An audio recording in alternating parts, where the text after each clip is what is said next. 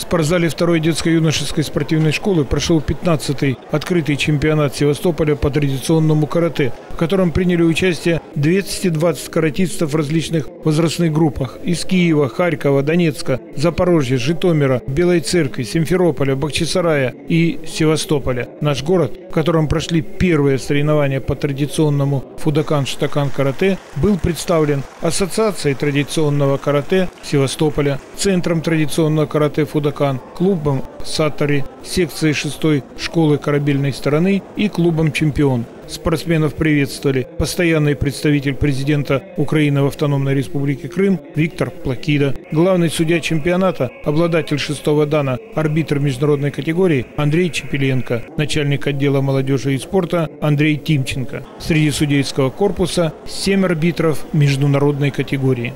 Абсолютно логично, что 15-й традиционный открытый чемпионат Севастополя по традиционному карате проводится именно здесь, и сюда приезжают спортсмены, потому что традиционное карате всерьез заявило о себе на Крымском полуострове именно здесь, в городе Героя Севастополя. У истоков этого стоял Чепеленко Андрей Владимирович. Поединки сразу на трех татами проходили в НБУ. Целый ряд севастопольских каратистов в различных дисциплинах и возрастных группах среди юношей и девушек поднялись на верхнюю ступень пьедестала почета.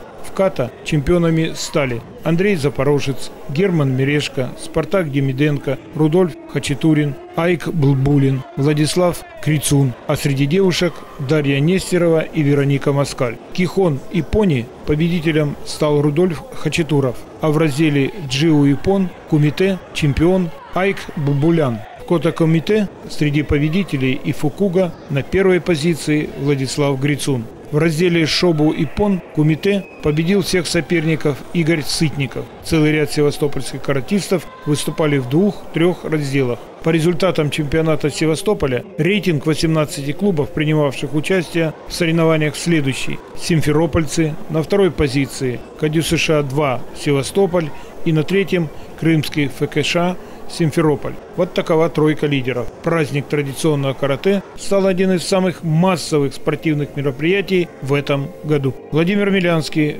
Олег Иваченко, программа «Наше время».